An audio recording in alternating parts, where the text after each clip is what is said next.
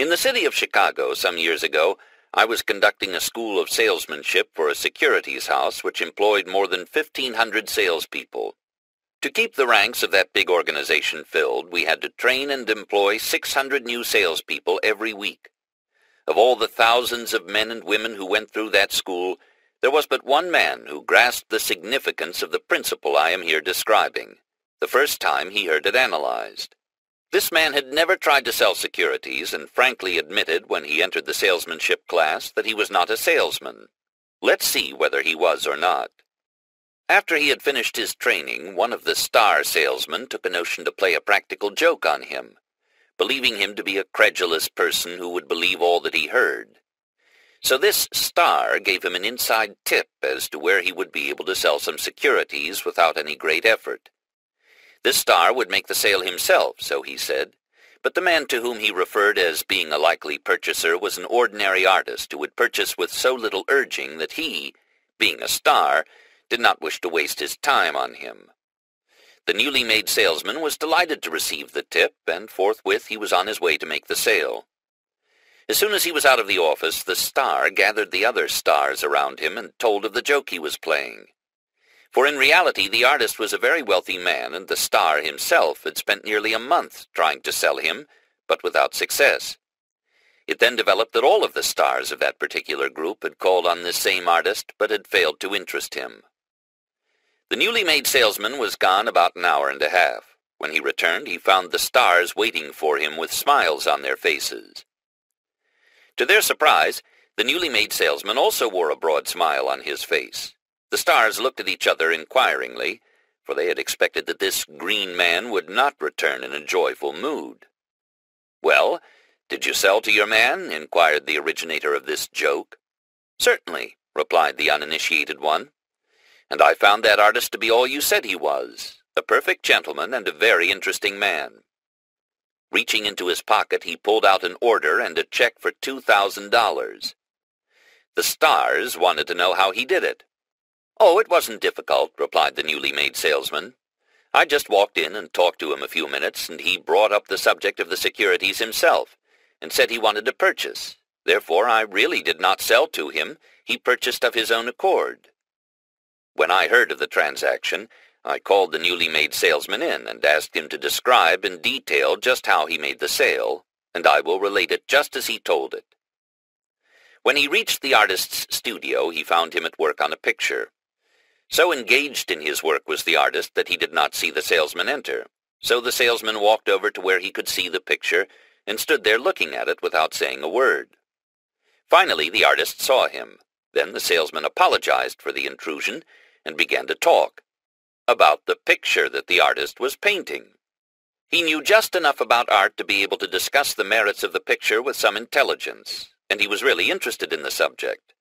He liked the picture and frankly told the artist so, which of course made the artist very angry. For nearly an hour those two men talked of nothing but art, particularly that picture that stood on the artist's easel. Finally, the artist asked the salesman his name and his business, and the salesman, yes, the master salesman, replied, Oh, never mind my business or my name. I am more interested in you and your art. The artist's face beamed with a smile of joy. Those words fell as sweet music upon his ears. But, not to be outdone by his polite visitor, he insisted on knowing what mission had brought him to his studio. Then with an air of genuine reluctance, this master salesman, this real star, introduced himself and told his business. Briefly he described the securities he was selling, and the artist listened as if he enjoyed every word that was spoken. After the salesman had finished, the artist said, well, well, I have been very foolish. Other salesmen from your firm have been here trying to sell me some of those securities, but they talked nothing but business. In fact, they annoyed me so that I had to ask one of them to leave. Now let me see. What was that fellow's name? Oh, yes, it was Mr. Perkins. Perkins was the star who had thought of this clever trick to play on the newly made salesman. But you present the matter so differently, and now I see how foolish I have been, and I want you to let me have $2,000 worth of those securities. Think of that. You present the matter so differently. And how did this newly made salesman present the matter so differently? Putting the question another way, what did this master salesman really sell that artist? Did he sell him securities? No. He sold him his own picture, which he was painting on his own canvas. The securities were but an incident. Don't overlook this point. That master salesman had remembered the story of the old lady who entertained me for three quarters of an hour by talking about that which was nearest my heart. And it had so impressed him that he made up his mind to study his prospective purchasers and find out what would interest them most, so he could talk about that. This green, newly made salesman earned $7,900 in commissions the first month he was in the field, leading the next highest man by more than double, and the tragedy of it was that not one person out of the entire organization of 1,500 salespeople took the time to find out how and why he became the real star of the organization, a fact which I believe fully justifies the rather biting reprimand suggested in Lesson 9 to which you may have taken offense. A Carnegie or a Rockefeller or a James J. Hill or a Marshall Field accumulates a fortune through the application of the self-same principles that are available to all the remainder of us. But we envy them their wealth without ever thinking of studying their philosophy and appropriating it to our own use. We look at a successful man in the hour of his triumph and wonder how he did it, but we overlook the importance of analyzing his methods, and we forget the price he had to pay in careful, well-organized preparation which had to be made before he could reap the fruits of his efforts.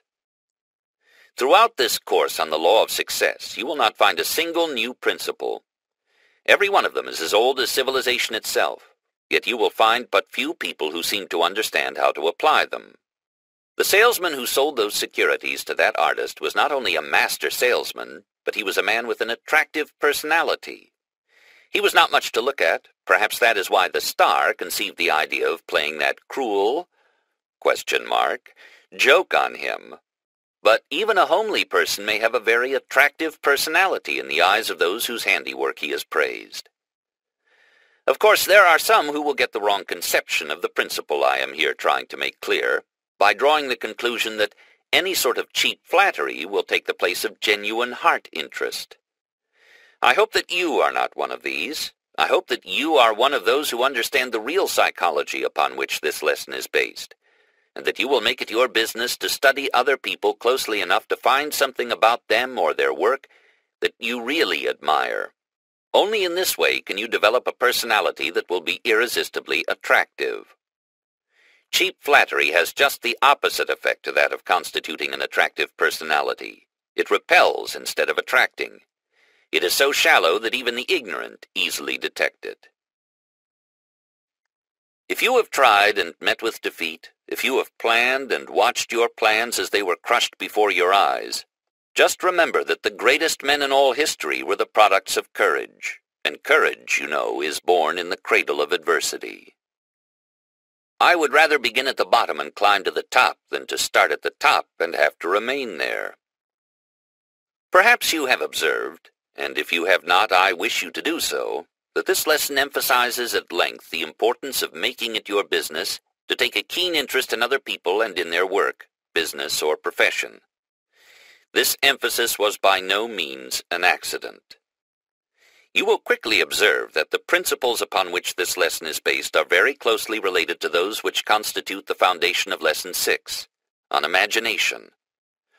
Also, you will observe that this lesson is based upon much the same general principles as those which form the most important part of Lesson 13, on cooperation. Let us here introduce some very practical suggestions as to how the laws of imagination, cooperation, and pleasing personality may be blended, or coordinated, to profitable ends through the creation of usable ideas,